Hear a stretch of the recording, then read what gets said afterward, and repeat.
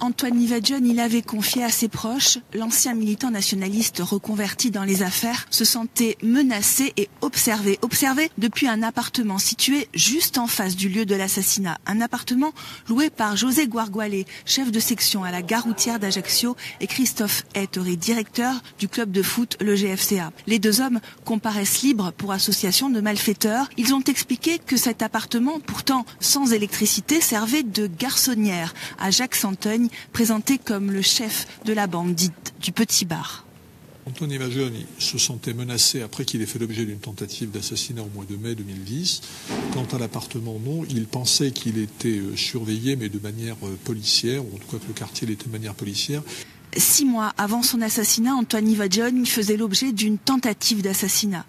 Sur le lieu du véhicule incendié, les enquêteurs découvrent un bouchon de plastique. Sur ce bouchon, le fichier national des empreintes génétiques va identifier l'ADN d'Éric Copolagne, présenté par l'accusation comme l'un des deux tireurs présents dans le box aujourd'hui. On a émis une hypothèse qui serait, euh, par exemple, que euh, ce bouchon ait appartenu à la famille euh, d'Eric Copolani, qui se trouve à côté, et qu'il ait pu migrer vers là. C'est tout à fait envisageable. Ou ensuite que Eric Copolani ait contaminé ce bouchon à diverses occasions, et notamment en faisant son footing, puisque c'est proche du domicile de, de sa mère. C'est tout à fait envisageable. Donc en réalité, la question va rester ouverte par rapport à cet ADN. L'ADN ne prouve rien.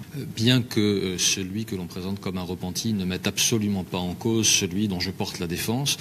Il n'en demeure pas moins que euh, les conditions de sa comparution et de sa déposition à huis clos, euh, dans des conditions qui peuvent euh, inquiéter sur la sincérité de certaines de ses déclarations, posent question, et ce sont des questions que la Cour aura à examiner pour déterminer si celui que l'on présente comme un repenti a quelque intérêt à faire des déclarations dans le cadre de ce procès. Plus tard, Patrick Giovannone, petite main du petit bar devenu le premier repenti de France, va expliquer aux enquêteurs que les les hommes impliqués dans la tentative d'assassinat et dans l'assassinat sont les mêmes. Il va jusqu'à préciser que son ancien ami Eric Coppolagne lui a confié être l'un des deux tireurs. Cet après-midi, Patrick Giovanogne s'est expliqué devant la cour d'assises. Nous n'avons pas pu entendre ses propos car le procès se tient à huis clos. La défense les conteste dans leur totalité.